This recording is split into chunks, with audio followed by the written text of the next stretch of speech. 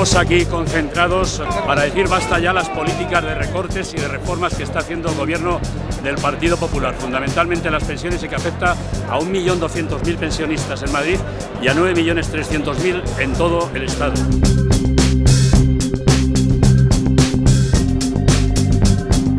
Consideramos que es inadmisible la subida de 2 euros, una subida miserable, cuando el precio de los principales recursos que tiene que consumir cada ciudadano, fundamentalmente la luz un 12% ha subido, el gas un 10%, nos lleva a una situación de deterioro de nuestras condiciones de vida totalmente inadmisibles.